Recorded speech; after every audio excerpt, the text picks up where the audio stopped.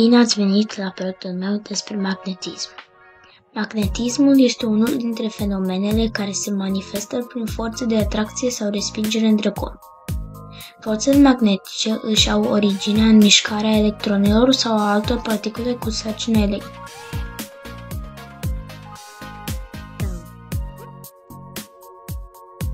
Te-ai gândit vreodată dacă aurul se magnetizează? Astăzi vei afla.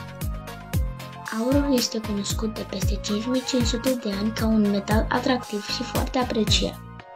Deși uneori se găsește în natură ca metal liber, o cantitate mare de aur se găsește împreună cu calchitul, telerul, cuarțul, zincul, cuprul și plumbul. Nu cred că ți-ai auzit despre aceste metale, dar acum știți. Oamenii de știință au petrecut decenii studiind aurul și au descoperit că proprietățile sale diferă la scară macro și nano.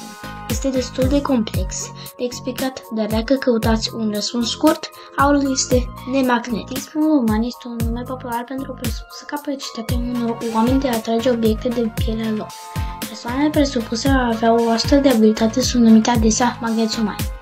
O să încerci și tu asta. Dacă vrei, poți să iei un balon, de exemplu, și să-l frești de capul tău, părul poate să urmeze după el, asta îți va arăta că corpul tău are electricitate și dacă nu știai un fapt foarte tare despre electricitatea umană, magnetismul uman, este că corpul tău, atunci când se gândește mult, pot, poate deschide un bec cu energia electrică care o are în corpul lui. De asta se numește magnetismul uman.